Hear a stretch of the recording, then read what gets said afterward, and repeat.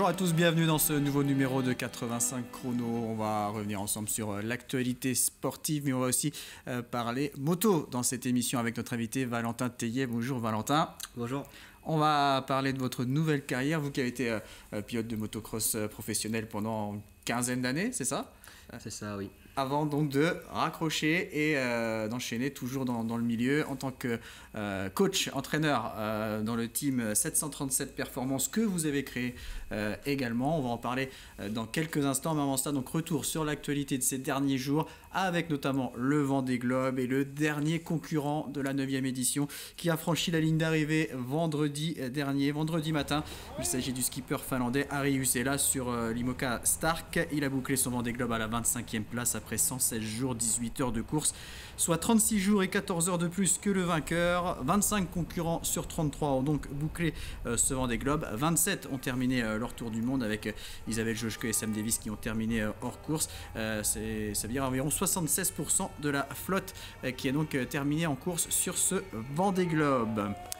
Le basket avec euh, le championnat de National 1 masculine, la 18e journée ce week-end et un derby vendéen samedi soir entre les Sables d'Olonne et Chaland à la salle Beau Séjour des Sables d'Olonne. Un derby à huis clos, bien sûr. Une rencontre euh, qui tourne rapidement à l'avantage des Chalandais qui débutent par un 6-0 et qui compte déjà 14 points d'avance à la fin du premier quart-temps, 31 à 17. Le VCB euh, qui maintient cet écart dans le deuxième quart-temps et à la mi-temps, Chaland euh, mène 51 à 38. Les joueurs d'Antoine Michon enfonce le clou au retour des vestiaires. Il mène 82 à 60 après 30 minutes de jeu. Euh, les visiteurs, euh, une nouvelle fois euh, portés par leur meneur américain Devon Thomas, qui a encore affolé les statistiques samedi soir. 36 points et 39 d'évaluation pour Devon Thomas. Chaland qui passe la barre des 100 points dans le quatrième quart-temps pour finalement l'emporter sur le score de 102 à 85. Les Chalandais qui évoluaient en rouge et les Sablés en blanc, bien sûr. L'équipe des Sables qui avait renoué avec la victoire la semaine dernière face à Vitré après 6 défaites consécutives s'est montrée impuissante contre des Chalandais qui, eux, signent un sixième succès de rang. On va écouter les réactions euh, des deux coachs, Antoine Michon pour Chaland et Guillaume Ponce pour les Sables, au micro de Thibaut Grasset. Bon, la notion, on parle d'un derby, c'est vrai qu'elle est complètement, euh, cette notion est atténuée par le fait qu'il n'y ait personne dans les salles. Donc euh, voilà, même si ben voilà, les joueurs, on a fait un match aller, qu'on avait perdu avec du public, donc ça nous a impacté à un moment donné. Mais je disais, on ne gagne pas des matchs en disant oui, on va prendre notre revanche. On gagne des matchs parce qu'on produit du jeu. Et je pense que là, d'entrée de match, on a, essayé de produire des choses, mettre du rythme dans le jeu, ce qui nous a donné aussi de l'adresse et ça nous a mis en confiance. Donc voilà, et puis quand on dit les sables, bon oui, ils étaient sur une mauvaise phase, mais ils venaient quand même de battre Vitré ici, qui, est, une équipe aussi référencée et qu'on connaît bien. Donc euh, ils ont du potentiel, des qualités. Euh, après, ils, découvrent aussi cette division-là qui est rude. Bah, ils nous ont mis en difficulté, ça c'est sûr. Euh, je pense qu'aujourd'hui, euh, pour une fois, on met 85 points. Donc, mais, défensivement, on encaisse 102. On ne peut pas exister en, encaissant 102 points. Alors on sait que ça, voilà, Chaland, c'est une équipe déjà à la base très talentueuse, avec des joueurs de talent, en pleine confiance actuellement. Et euh, dès le départ, ils nous ont mis des tirs, ils ont fait un écart, ils ont pris confiance euh, offensivement. Et après, bon, l'écart, il est, l'écart, il est, fait. Et, on essaye de, limiter la casse euh, sur le quatrième quart-temps, mais le, match il est, il est, plié bien avant. Voilà. Nous, on peut, on peut, pas, peut pas exister dans un match en encaissant 102 points. Je pense que défensivement, on n'a juste pas été à la hauteur. La victoire 102 à 85 de Chaland. Chaland qui signe sa dixième victoire et qui est troisième au classement. Le VCB qui va recevoir Lorient euh, ce mardi soir. Du côté des Sables, ça fait 4 victoires et 13 défaites. Les Sablés qui se déplaceront à Vanves euh, ce mardi. Et puis à noter qu'il y aura un match de Ligue féminine également euh, mercredi soir, la 18e journée. L'équipe de La Roche-sur-Yon reçoit Landerneau à la Halle des Sports des Oudéry.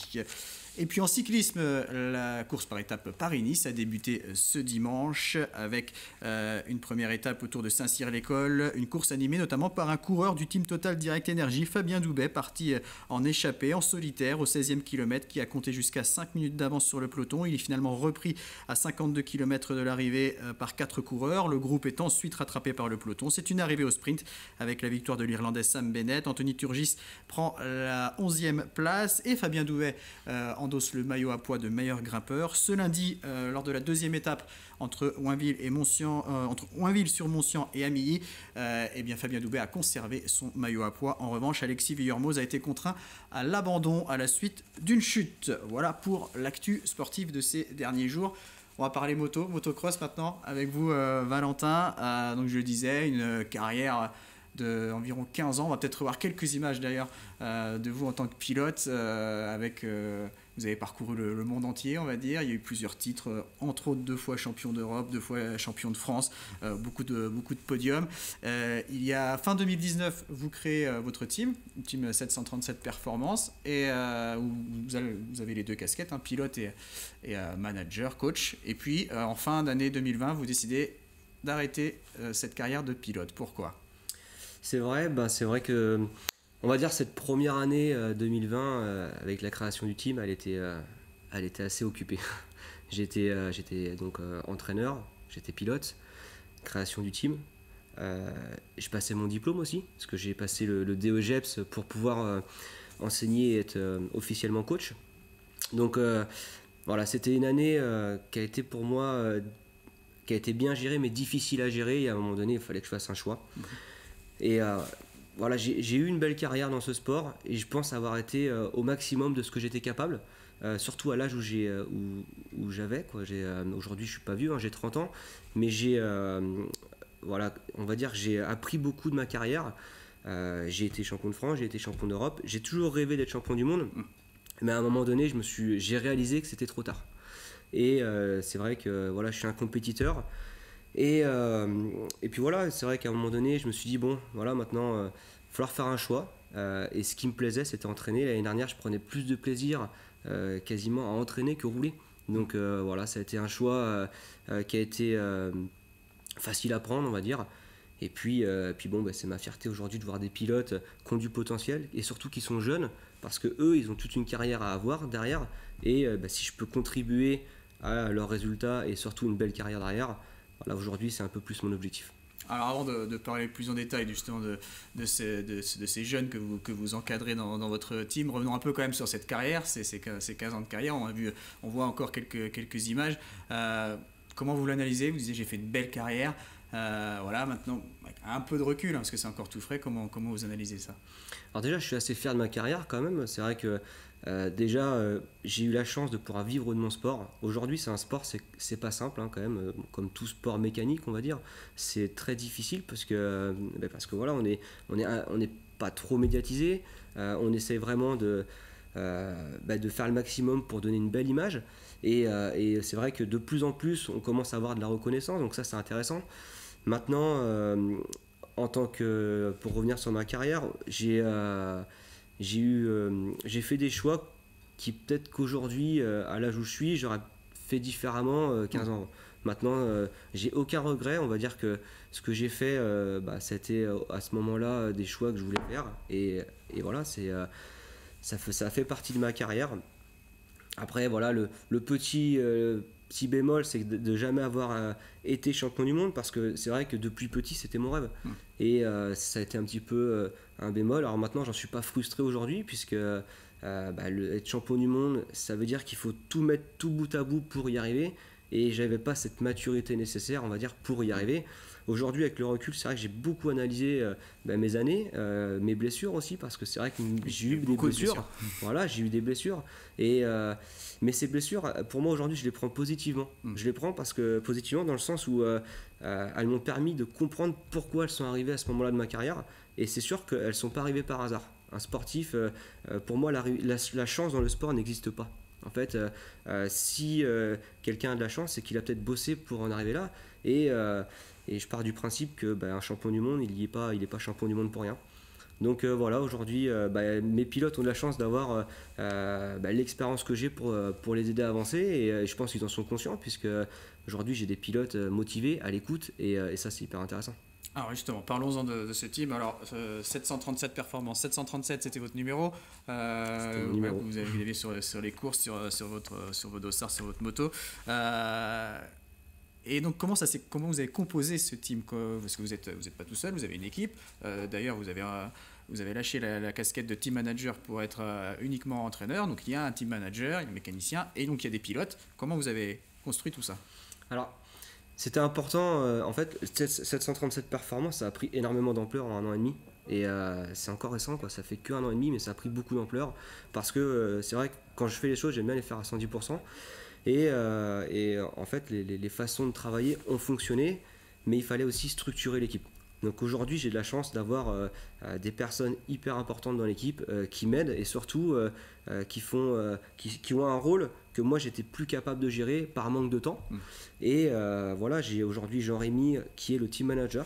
Jean-Rémy Leroy. Jean-Rémy Leroy, voilà, qui avait un team de motocross avant et qui a aujourd'hui le rôle de team manager. Alors aujourd'hui, le team 737 Performance, c'est 737, c'est mon numéro, c'est mon nom, etc. Mais aujourd'hui, il est quand même très impliqué dans le team.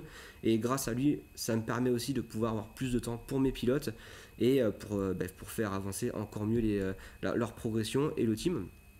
Et puis à côté de ça, j'ai j'ai mon père qui m'aide énormément. j'ai aussi donc Franck Grassin qui a le rôle de, chef mécanicien qui est aussi important puisqu'il drive vraiment tous les mécaniciens de l'équipe. Et aujourd'hui, en fait, on est vraiment un trio, euh, même euh, on va dire avec mon, père en plus, on est, quatre personnes très importantes et qui font que le team fonctionne et euh, qui permet de, pouvoir faire avancer chacun.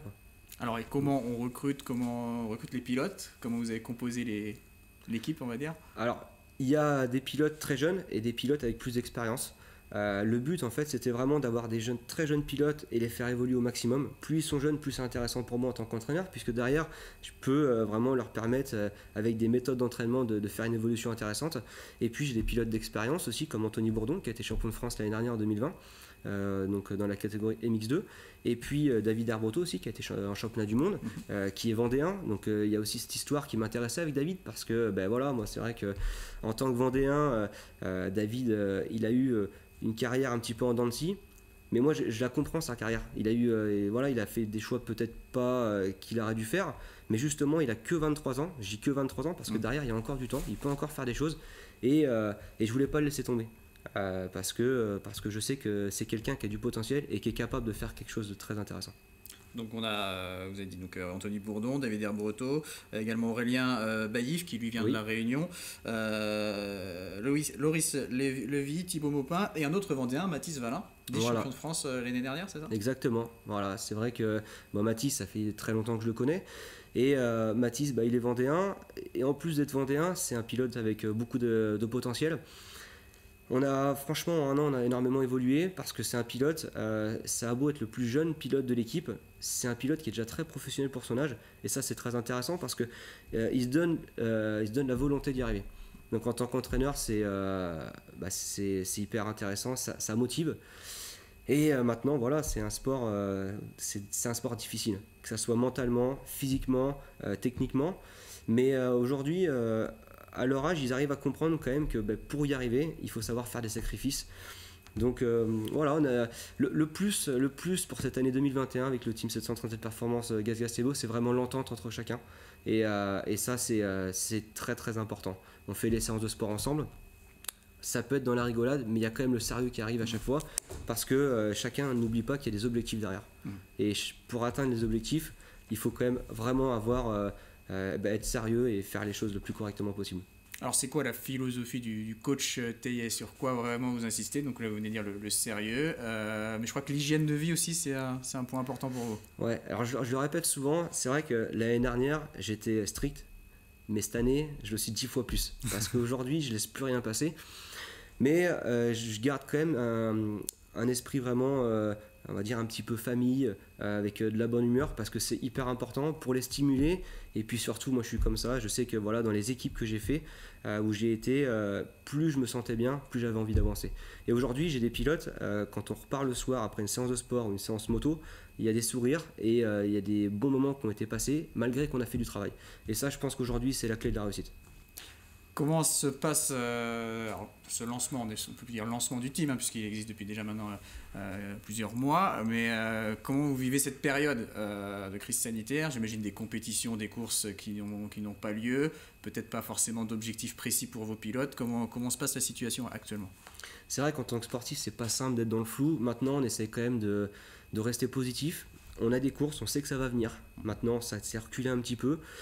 Euh, la préparation, on l'a fait un petit peu plus différemment, c'est-à-dire qu'on est moins dans l'intensité et on est plus dans le, on va dire, dans, le contrôle. C'est-à-dire qu'on va plus chercher trop les limites pour le moment. On attend un peu et quand les dates officiellement vont être, euh, vont être lancées, euh, d'ici, on va dire un mois avant, un mois, voire deux mois avant la première épreuve, là, on pourra vraiment aller chercher plus d'intensité. Après, on n'en parle pas trop en fait avec les pilotes. On reste vraiment concentré sur, sur notre roulage, sur le sport, même si bon, ils le voient bien. On arrive quand même euh, des périodes où je leur dis écoutez les gars cette semaine c'est vraiment la cool. On va relâcher un petit peu euh, mentalement parce que les premières courses arrivent dans plus longtemps que prévu. Donc voilà. Des fois on fait des petits rappels là-dessus mais on n'en parle pas trop. Voilà on reste quand même concentré malgré tout. Et euh, aujourd'hui c'est leur job hein, ils font que ça. Donc quand je dis leur job c'est que voilà aujourd'hui c'est comme un travail. Ils se lèvent le matin de bonne heure ils font attention à ce qu'ils mangent ils font attention à leur hygiène de vie euh, ils font attention à beaucoup de choses, donc euh, ils sont même suivis par des spécialistes, hein, des, sophrologues, parce qu'aujourd'hui, euh, voilà, c'est comme je l'ai dit tout à l'heure, c'est très important de, vraiment tout millimétrer à, chaque fois. Quoi.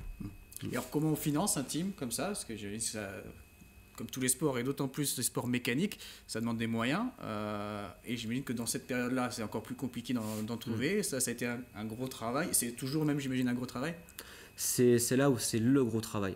Aujourd'hui, euh, c'est vrai qu'on a de la chance d'avoir des partenaires, euh, des partenaires fidèles, parce qu'ils ont tous continué. Et euh, malgré la situation sanitaire, on a eu des partenaires quand même qui ont été compréhensifs.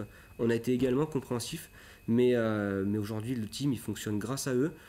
Et après, on va pas se le cacher, c'est beaucoup de, passionnés de moto, voilà, qui, qui aiment la moto, qui aiment ce qu'on fait. Mais, mais on va dire le, le plus, le côté entraînement euh, avec ce qui se passe en ce moment, ça nous, gêne sans nous gêner, parce qu'on peut continuer à s'entraîner. Par contre, le problème de cette crise un petit peu sanitaire, c'est qu'aujourd'hui, les entreprises, c'est de plus en plus dur. Ils savent pas trop où ils vont.